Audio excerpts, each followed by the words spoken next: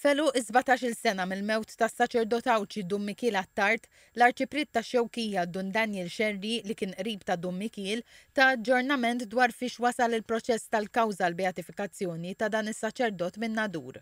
Il-kawża tal-beatifikazzjoni fuq livell djoċesan miexja wara li t-Tribunal sema' aktar minn 90 xhieda ta' persuni li kienu jafu personalment lil Dun Mikiel.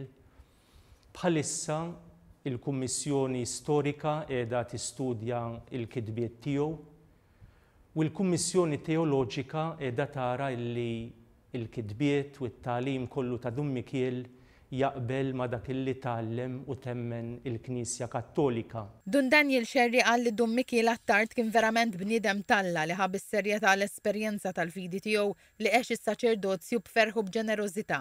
L-Arċipriet tax-Xewkija qal li Dun Mikiel Attard ta ħajtu għal ħaddieħor u li ħafna kienu jfittxuh speċjalment għall-qrar u biex jieħdu d-direzzjoni spiritwali tiegħu. Ibbenefikaw mill-kariżma tiegħu iż-żgħażagħ, it-tfal, tant saċerdoti u reliġjużi, morda u anzjani. Kellu mħabba partikulari lejn kull bniedem.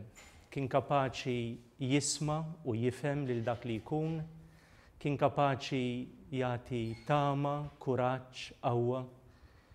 Dun Mikiel kellu imħabba partikulari lejn il-missjonijiet.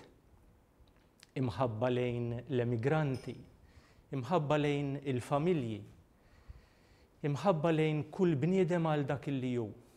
Miriam Portelli kienet fil-grupp tal-missjoni ta' Dun Mikiel.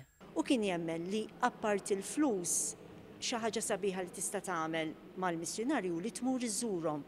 Kien jgħid, Għal ftit taż-żmien nieħdu 'l Għawdex għand il-missjunarju. Jien sifirt ma' Dun Mikils darbtejn, darba t-Tuneżija u darba l-Perù. U nista' ngħid li l-esperjenza tal-Perù kienet waħda mill-aqwa esperjenzi tiegħi. Ma kien jibża' minn xejn, ma kien jaqta' qalbu minn xejn, għalkemm kien ikun għajjien u anki xi kultant anki l-mard kien itellfu milli jagħmel dak li jixtieq. Pero Dmikiel kien jibqa' jinsisti li jakkompanja l-missjunarju fit-triq tiegħu. Anton Mercieqa, membru tal-Mużew fin-Nadur, qal li jħobb jiftakar f'xi kliem li kien jgħid Dumikil Attard u li bihom kien ikun ta' kuraġġ għall-oħrajn. U mbagħad kien iħobb jgħid din, Fil-ħajja hawn is-slaleb u hawn il-mard. Aħna, f'dawn l-okkażjonijiet, jew nitħaddnu mas-salib ta' Kristu, jew niddispraw mal-għewda ta' Ġuda. L-anniversarju mill-mewt ta' Dun Mikiel Attard tfakkar biċ-ċelebrazzjoni ta' quddiesa fis-Santwarju tal-Madonna ta' Pinu.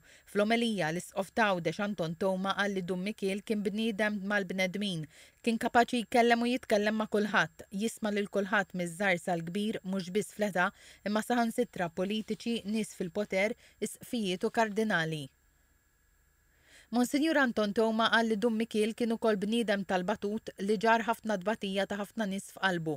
Il-postulazzjoni tal-kawża għadha kemm ħarġet ktieb dwar kif Dun Mikiel Attard baqa' fil-qalb ta' dawk li ltaqgħu miegħu.